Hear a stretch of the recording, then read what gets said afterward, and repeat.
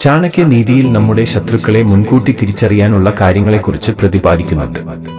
അത്തരം കാര്യങ്ങളെക്കുറിച്ച് ചാണക്യൻ ഉപദേശിക്കുന്നത് എന്താണെന്ന് നമുക്ക് നോക്കാം. നിങ്ങളുടെ പിതാവ് കടം വരുത്തിവെക്കുന്നവൻ ആണെങ്കിൽ അവൻ നിങ്ങളുടെ ശത്രുവാണ്.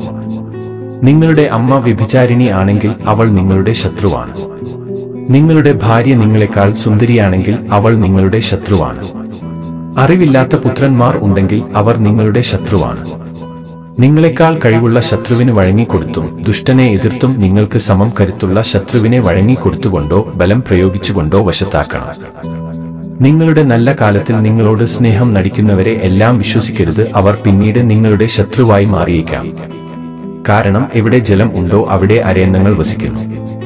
അവിടത്തെ ജലം വറ്റുമ്പോൾ അവ അതിനെ ഉപേക്ഷിക്കുന്നു. മനുഷ്യൻ ഹംസങ്ങളെ പോലെ ഏതിനെയും പ്രയോജനമുള്ളപ്പോൾ ആശ്രയിക്കുകയും പിന്നീട് ത്യജിക്കുകയും ചെയ്യുന്നു. നീചനായ രാജാവ് നിങ്ങളുടെ ശത്രുവാണ് കാരണം ദുഷ്ടനായ രാജാവ് ഭരിക്കുന്നിടത്ത് താമസിച്ചാൽ നിങ്ങൾക്ക് സമാധാനം ലഭിക്കുന്നതെങ്ങനെ? അതിനേക്കാൾ നല്ലത് രാജാവില്ലാത്തടത്ത് താമസിക്കുന്നതാണ്. നീചന്മാരായ സുഹൃത്തുക്കൾ ഉണ്ടെങ്കിൽ അവർ നിങ്ങളുടെ ശത്രുവാണ് കാരണം നീചനായ സുഹൃത്തിൽ നിന്ന് ശാന്തി ലഭിക്കുന്നത് എങ്ങനെ? നീചനായ സുഹൃത്തിനേക്കാൾ നല്ലത് സുഹൃത്ത് ഇല്ലാതിരിക്കുന്നതാണ്.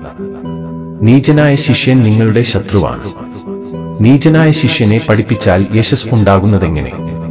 നീചനായ ശിഷ്യനേക്കാൾ നല്ലത് ശിഷ്യൻ ഇല്ലാതിരിക്കുന്നതാണ്. നീചയായ ഭാര്യ നിങ്ങളുടെ ശത്രുവാണ്. കാരണം നീചയായ ഭാര്യയുള്ള വീട്ടിൽ നിങ്ങൾക്ക് സന്തോഷം ലഭിക്കുന്നതെങ്ങനെ? നീചയായ ഭാര്യയേക്കാൾ നല്ലത് ഭാര്യ ഇല്ലാതിരിക്കുന്നതാണ്. മറ്റുള്ളവരെ എപ്പോഴും നിന്ദിക്കുന്നവൻ നിങ്ങളുടെ ശത്രുവാണ്. അവൻ ചെവി കൊടുക്കരുത്. കാരണം മറ്റുള്ളവരെ നിന്ദിക്കുന്നവൻ എല്ലാവരിലും നീചനാണ്. അവൻ തരം കിട്ടിയാൽ നിങ്ങളെയും നിന്ദിക്കും. ഭയാനകമായ പ്രകൃതിക്ഷോഭം യുദ്ധം വരൾച്ച എന്നിവയും ദുഷ്ടരായ ചങ്ങാതിമാരും നിങ്ങളുടെ ശത്രുക്കളാണ്. അവയിൽ നിന്ന് അകലം പാലിക്കുന്നവൻ സുരക്ഷിതനായി ജീവിക്കുന്നു. ദുസ്വഭാവിയായ ഒരു പുത്രൻ ഉണ്ടെങ്കിൽ നിങ്ങളുടെ കുലം മുഴുവൻ നശിക്കാൻ ഇടയുണ്ട്. കാരണം ഉണങ്ങിയ ഒരു വൃക്ഷത്തിൽ പിടിക്കുന്ന തീ കാടിനെ മുഴുവൻ നശിപ്പിക്കുന്നത് പോലെ. എന്തിനോടുമുള്ള ആധിക്യം നിങ്ങളുടെ ശത്രുവാണ്. കാരണം അതിയായ സൗന്ദര്യം സീതയ്ക്കും അതിയായ അഹങ്കാരത്തിൽ രാവണനും ആപത്തു നേരിട്ടു അതിയായ ദാനശീലത്താൽ മഹാബലി സ്ഥാനഭ്രഷ്ടനായി ആയതിനാൽ എന്തിനോടുമുള്ള ആധിക്യം സർവത്ര ഒഴിവാക്കേണ്ടതാണ്. അവിവേകിയായ ഒരാളെ ഒഴിവാക്കേണ്ടതാണ് കാരണം അയാൾ രണ്ടു കാലുള്ള മൃഗമാണ് അദൃശ്യമായ മുള്ള പോലെ അയാൾ നമ്മെ കുത്തുവാക്കുകൾ കൊണ്ട് മുറിവേൽപ്പിക്കും. ദുഷ്ടനായ ഒരാളെയും പാമ്പിനെയും താരതമ്യം ചെയ്യുമ്പോൾ പാമ്പ് ദുഷ്ടനേക്കാളും നല്ലതാണെന്ന് പറയാം. പാമ്പ് അതിനെ പ്രകോപിക്കുമ്പോൾ മാത്രമേ കടിക്കാറുള്ളൂ എന്നാൽ ദുഷ്ടൻ ഓരോ കാൽവയ്പിലും ഉപദ്രവിക്കുന്നു.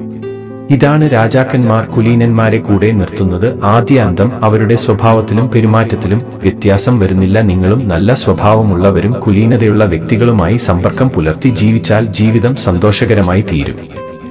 ഒരാളുടെ പെരുമാറ്റത്തിൽ നിന്ന് അയാളുടെ കുലവും സംസാരത്തിൽ നിന്ന് അയാളുടെ നാടും ആതിഥ്യത്തിൽ നിന്ന് സ്നേഹവും ശരീര വലിപ്പത്തിൽ നിന്ന് അയാൾ കഴിക്കുന്ന ഭക്ഷണത്തിന്റെ അളവും നമുക്ക് മനസ്സിലാക്കാം. ഇങ്ങനെ മറ്റുള്ളവരെ മനസ്സിലാക്കി ഇടപെടാൻ നിങ്ങൾ ശ്രമിക്കുക.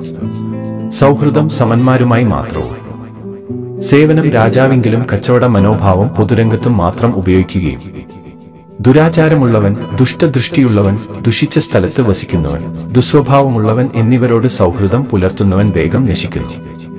ആയതിനാൽ ഈ പറഞ്ഞത് എല്ലാം തിരിച്ചറിയുക ഇവ നിങ്ങളുടെ ശത്രുവായി മാറാൻ ഇടയുണ്ട് തന്റെ മുൻപിൽ മധുരമായി സംസാരിക്കുകയും അല്ലാത്തപ്പോൾ തനിക്കെതിരായി പ്രവർത്തിക്കുകയും ചെയ്യുന്ന സുഹൃത്തുക്കളെ ഒഴിവാക്കണം. അവർ മുകളിൽ മാത്രം പാലുള്ള വിഷകമ്പം പോലെയാണ്.